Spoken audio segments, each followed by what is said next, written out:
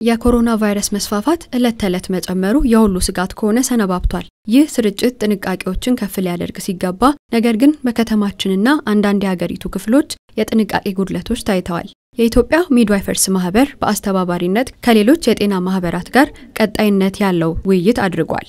ኮቪድ ሀገራችን ከገባበት ጊዜ ጀምሮ ስልጠና ከመስጠትና አቅም በተለይ የ critical care ህሙማን ላይ የሚሰሩ ባለሙያዎችን ከማፍራት እንዲሁም በተለያዩ ዲሲፕሊን ላይ ያሉትን የጤና ባለሙያዎችን ስልጠናና አቅም ግንባታ ጋር ነው። ሁለተኛው ደግሞ በ volunteer ሆነው እንግዲህ በመላ ሀገሪቷ ወደ አስር ሺህ ዜጎቻችን እንደርሳለን ብለው መጪው ጊዜ እንግዲህ ለሀገራችን አዲስ ዓመትም ነው plus ደግሞ ተከታትሎ በባህላዊም የሚከበሩ በዓላትም ስላሉ ከዛ ጋርም ተያይዞ የግንዛቤ ማስጨበጫ ስራም የሚሰራበት ነው። ዋናነት ግን በሽታውን ከመከላከል አንጻርና ህሙማን በተለይ ወደ ሕክምና ተቋማት ከመጡ በኋላ ሕክምናውን በምን መልኩ መሰጠት አለበት የሚለውን የአቅም ግንባታ ስልጠናን የመስጠትን ዓላማ ያነገበ ነው ማለት ነው። የኢትዮጵያ ሚድዋይፈርስ ማህበር 11 ከሚሆኑ ሌሎች የጤና ማህበራት ጋር የጀመረው አሰራር በማህበረሰብ ውስጥ ያለውን የግንዛቤ ክፍተት በእጅጉ ይሞላዋል ተብሎ ይታሰባል። እነዚህ ማህበራት የሚሰሩት ስራ ትልቅ ስራ ነው። የመጀመሪያውና ትልቁ ቁልፍ ጉዳይ በየደረሱበት ህብረተሰቡን ግንዛቤ መስጠት፣ ህብረተሰቡ በተለይ በዋናነት ወደ ተለመደው እንቅስቃሴ ሲገባ እንቅስቃሴዎቹ በጥንቃቄ በተሞላበት እንዲሆን ህብረተሰቡን ግንዛቤ የማስጨበጥ ስራዎችንም ጎን ለጎን የሚሰራ ይሆናል። የማህበራቱ አስተዋጽኦ እጅግ ከፍተኛ ነው የሚሆነው። የተለያዩ የሙያ ማህበራት ስብስብም ከመሆን አንጻር professionally የሚሰጧቸው advice ኦች፣ ምክረ ሀሳቦችም ይኖራል።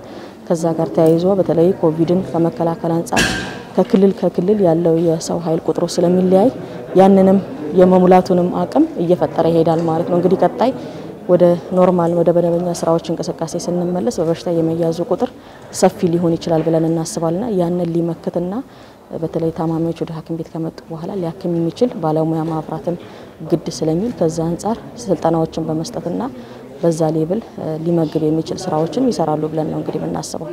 ከተቋቋመ 28 ዓመታትን የተሻገረው የኢትዮጵያ ሚድዋይፈርስ ማህበር የእናቶችና የጨቅላ ህጻናትን ሞት መቀነስ ዋና ዓላማው ቢሆንም በዓለማችን አስጊ ክስተት በሆነው ኮሮና ቫይረስ ለመመከት ትልቁ ሚና የሚወጡ በጤና ዘርፉ ያሉ ባለሙያዎች በመሆናቸው ከተቋቋሙበት ዓላማ ጎን ለጎን በትኩረት እየሄዱበት ይገኛል።